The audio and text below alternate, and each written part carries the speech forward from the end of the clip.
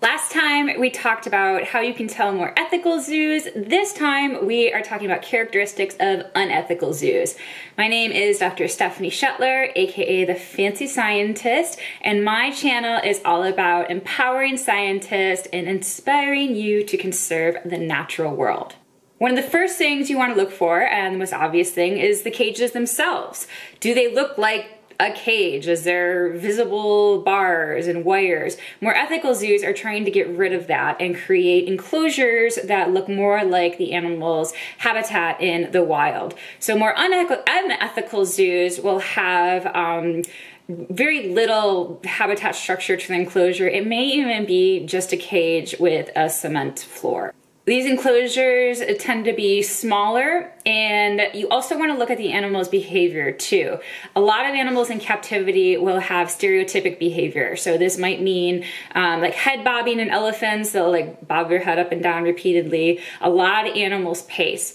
And this can even happen at good zoos too. What good zoos will do is put out enrichment, um, so different activities or scents or something that stimulates the animal's interest to get them to do more natural behaviors. At unethical zoos, you will see no signs of enrichment. And watch my last video to, to see an example of enrichment. In unethical zoos, you are going to have a different perspective of the animals.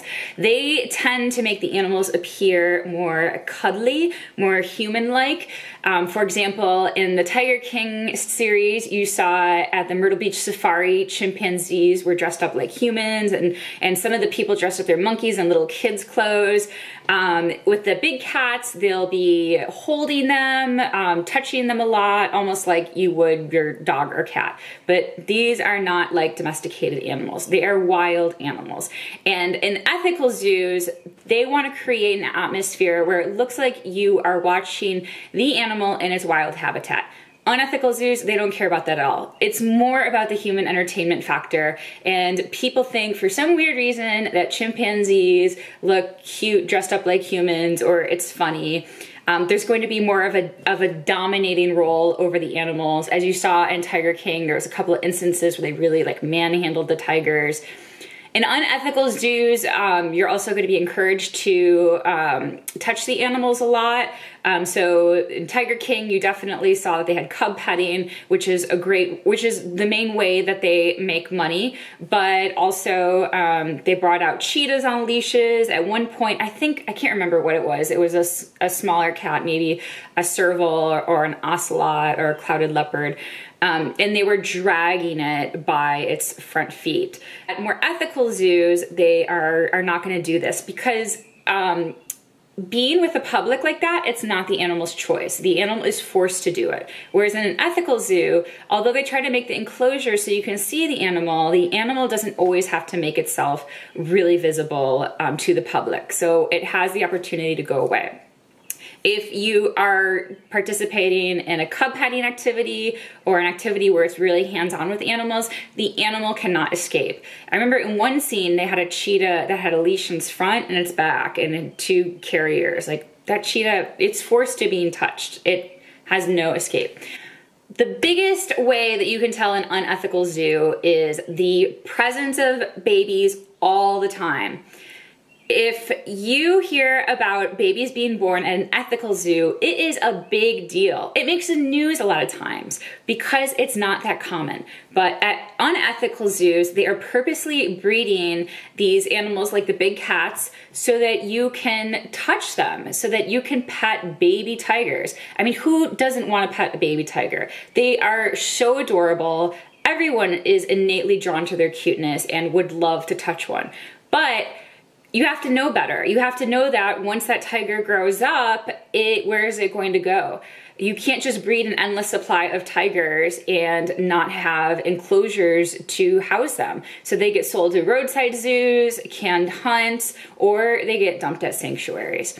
So if a zoo constantly advertises babies, if they have billboards that say that they have babies, this means that they are breeding their tigers or other animals like a puppy mill, constantly breeding them so that they can have babies just to make money. This, these cubs are not contributing to conservation, and you can watch one of my other zoo videos about um, how zoos contribute to conservation. They are only breeding them for money purposes. These animals can never be released to the wild.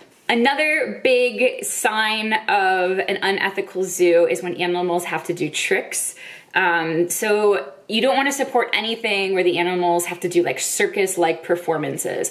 These are gonna be tricks that animals don't normally do in the wild. Like for elephants, a lot of times they have them lift up their front hind legs, they have them pose, things like that. The only time where it's really okay, as I explained in my last video, is that trainers do have to to train the animals um, to do little things to help them with medical purposes. So they might train an elephant to like hold its ear out so they can take a blood sample.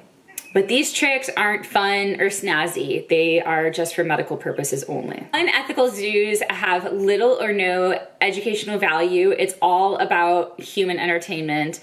I am doing some more videos on the facilities in the Netflix series and um, I visited them, and their websites are completely different from more ethical zoos websites. There's little information about the animals. There's there's actually incorrect information about the animals, which I'm going to debunk.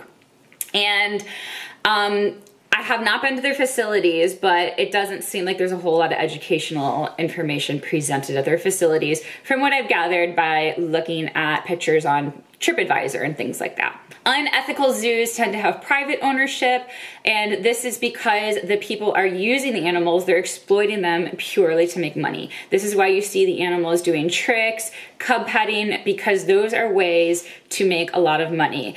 Um, for Myrtle Beach Safari, their packages cost hundreds of dollars. I think it was $500 to get your picture taken with a cub and touch the cubs and everything. So these generate a lot of income for individuals, but it's at the expense of the animals. Unethical zoos will have no research taking place. Zoos should really be bragging about the research because they are under pressure from the public to be better. So they want to they want to show to the public how important they are for conservation, how they care about their animals. And zoos will research um, programs in the, on animals in the wild, the fund research programs. They will also um, research their animals in captivity too. So a lot of ethical zoos will make sure, like I said, that those animals don't have stereotypical behavior and they will do studies. They will research the animals before, they will implement an enrichment, and then they will study the animals afterward to see if the enrichment reduced their stereotypical behavior. You, you wanna look at the staff. Um, this might be a lot harder to do. You might have to do some internet research, but um, in Tiger King, they were pretty open about it. Um, Joe took people just right off the street, people with drug problems, um, people who were homeless. And though I commend Joe on giving people these opportunities, and I think it's really important we need to provide employment opportunities for people who have been incarcerated and support rehabilitation programs. That being said, I don't think it's a good idea to put unexperienced people in a cage with a tiger. You really want to get people who have trained for this. And unethical and as ethical zoos, um, it's actually pretty competitive to be a keeper. And you will have to um, not only have degrees, but um, you'll have to have lots of years of experience, especially to be head keeper, and especially for more charismatic animals um, like tigers. And then finally, zoos should really have a permanent vet or an associated vet. I worked at not a zoo, but at the Museum of Natural Sciences in North Carolina.